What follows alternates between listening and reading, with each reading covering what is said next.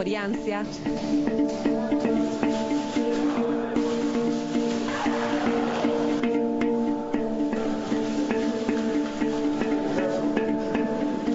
Quelli che vedete tutti in fila sono consiglieri comunali, agenti di polizia municipale che il sindaco oggi sta sottoponendo ai test rapidi. Il primo è il comandante della polizia municipale, uno dei più esposti al contatto con la gente.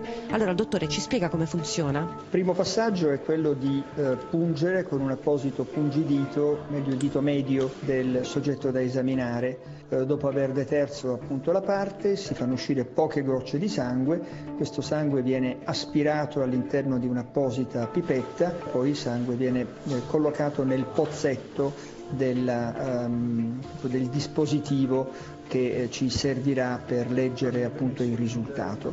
Vengono aggiunte due gocce di reagente specifico, eh, si aspetta qualche minuto e si verifica il risultato.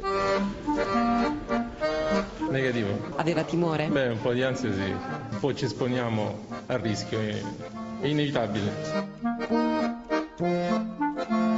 Rifacciamo un attimo a Chirizzi per favore.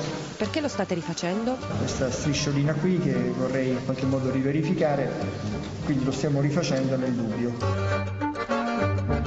Lei è immunologo tra i fondatori di un'associazione che regala anche grazie alla gara di solidarietà migliaia di test rapidi ai comuni che ve li stanno chiedendo. Questo non vuole per nessuna ragione creare una situazione di sostituzione o, o, o comunque di, di altra uh, attività che si svolge rispetto a quanto realizzato egregiamente dalla task force pugliese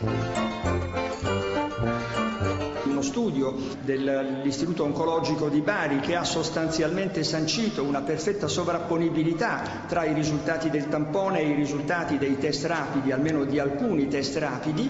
E, e quindi a fronte di questo voglio dire abbiamo ritenuto soltanto con spirito di servizio di mettere a disposizione una dotazione diagnostica.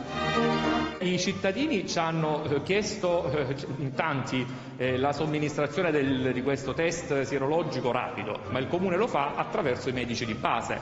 Qualcuno già l'ha data la disponibilità, altri invece stanno aspettando che arrivi qualche monito ulteriore dal, dal, dal Ministero. È arrivata qualche